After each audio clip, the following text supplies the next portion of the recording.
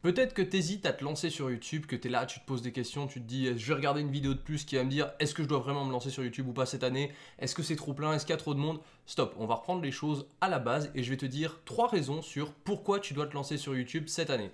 Donc tout d'abord, si tu ne me connais pas, je m'appelle Lucas Brasier et j'aide les étudiants à réussir sur YouTube sans sacrifier leurs études. Donc si tu veux rejoindre des milliers de YouTubeurs étudiants, c'est facile, tu t'abonnes à la chaîne YouTube et tu peux lâcher ton meilleur, ton meilleur like.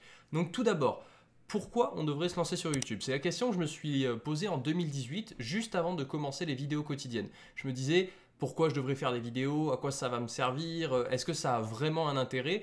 Et euh, qu'est-ce que je vais pouvoir développer comme compétence qui va m'être après utile au quotidien, que ce soit dans la vie professionnelle ou si j'ai envie d'utiliser une chaîne YouTube pour mon métier plus tard.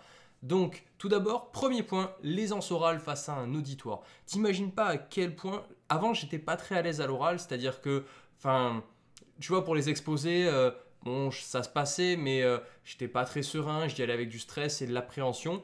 Le fait d'avoir fait des vidéos sur YouTube, ça m'a permis de me décomplexer de ça et d'être totalement à l'aise, transparent, dans le sens où, euh, tu vois, j'arrivais à mes oraux et je préparais rien. Enfin, je faisais mon travail, mais j'avais pas quatre pages de notes que je lisais, tu vois, t'en as peut-être vu des comme ça dans ta classe qui lisent leurs notes parce qu'ils sont stressés, bah sache que déjà si tu te lances sur YouTube, tu seras beaucoup plus à l'aise face caméra. Et si d'ailleurs tu veux que je te raconte une anecdote là-dessus, la fois où je suis monté sur scène avec l'humoriste Laura Lone que tu connais peut-être qui fait de l'humour noir, bah tu peux lâcher un like et si je vois qu'il y a assez de likes sur cette vidéo, je raconterai cette anecdote pour que tu puisses te rendre compte que toi aussi tu peux y arriver.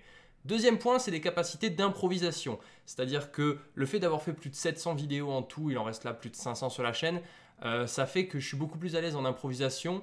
Euh, ça peut être sur le côté aussi réflexion rapide, tu vois, quand tu dois prendre des décisions rapidement, ou même quand je te fais des vidéos. Euh, la plupart de mes vidéos, il y a zéro note, zéro plan. C'est-à-dire que là, j'improvise, j'ai juste le titre avant et une petite structure, un plan sur lequel je m'appuie.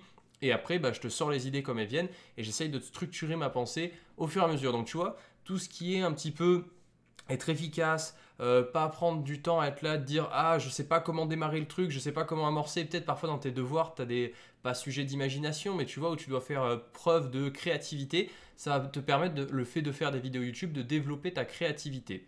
Troisième point, et finalement je t'en ferai quatre, c'est la confiance en soi. C'est-à-dire que YouTube, je pense que si tu regardes cette vidéo et que tu es encore là à ce moment-là, t'hésites à te lancer parce que tu as peur du regard des autres, tu as peur que les autres te disent ah, pourquoi tu fais des vidéos sur YouTube? Ah, tu te prends pour un YouTuber? Enfin, tu vois, sur TikTok, ça passe, sur Insta, ça passe. Mais dès qu'on passe sur YouTube, les gens, ils sont là, ils font un peu, c'est le média sacré, euh, réservé que aux gros YouTubeurs. Et si t'es pas un gros YouTuber, tu peux pas y aller, t'as pas le droit de te lancer.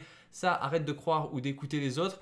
Si tu as vraiment envie de te lancer et de parler de ta passion, crée ta chaîne, publie tes vidéos et tu vas voir que quand tu vas réussir à affronter le regard des autres et à te dire bon, ils pensent des choses sur moi mais je m'en fous parce que je fais ce qui me plaît avant tout, tu vas voir que tu vas développer une grande confiance en toi et que tu vas pouvoir par la suite faire des projets toujours de plus en plus ambitieux et tu vas voir que tu vas pouvoir viser très haut très rapidement. Le dernier point que je voulais te donner, c'est l'organisation. C'est-à-dire que le fait d'arriver à tenir un planning de publication, de te dire ok, toutes les semaines, tous les jours, euh, tous les mois, je dois sortir une vidéo, ça va te permettre d'être rigoureux, organisé et tu pourras réinjecter toutes ces capacités que tu vas développer dans ton travail personnel ou professionnel. C'est-à-dire que si tu arrives à avoir un agenda cadré pour YouTube et que tu arrives à dire je sors voilà trois vidéos par semaine et que tu arrives à le tenir, tu verras qu'après dans tes cours, tu vas avoir une façon de réfléchir et une façon de faire qui va être beaucoup plus méthodique, structurée et organisée. Donc c'est vraiment les quatre capacités, je pense, euh, que j'ai développées grâce à YouTube et que toi aussi tu peux développer si tu veux te lancer sur YouTube. Donc si tu es intéressé et que tu es toujours là, tu peux rejoindre la missive YouTube, c'est le premier lien en description. Ça te permettra de recevoir un mail tous les matins pour t'apprendre à réussir sur YouTube, obtenir tes 1000 premiers abonnés et gagner 100 à 200 euros par mois sans sacrifier tes études. Donc c'est le premier lien en description. Et si tu t'inscris, tu reçois en cadeau un chapitre de mon livre Le petit guide du youtubeur étudiant, plus précisément le chapitre Choisir son matériel pour débuter. Premier lien en description, si tu as des questions, n'hésite pas à les laisser en commentaire. Croyez en vous et osez, c'était Lucas Brasier.